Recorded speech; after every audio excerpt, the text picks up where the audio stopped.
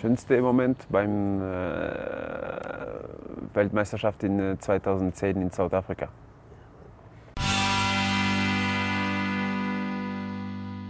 Unser ähm, Spiel gegen Argentinien in 2014, Achtelfinale, dieses Tor von Di Maria hat uns äh, kaputt gemacht.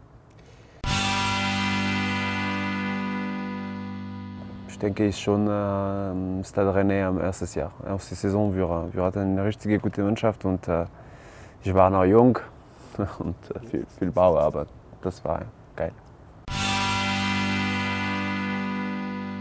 Ja, wie gesagt, WM 2010, diese Tor gegen Spanien.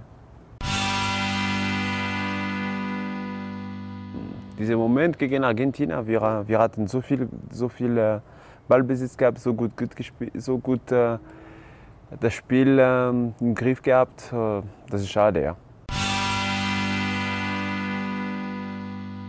Schwer zu sagen. Ich denke, dass ähm, alle diese Spieler äh, haben viel gebracht für Waliser Fußball und äh, Sie hätten äh, alle das verdient. Ähm, für mich waren sie alle Vorbild für mich und ähm, ich bin äh, dankbar für das.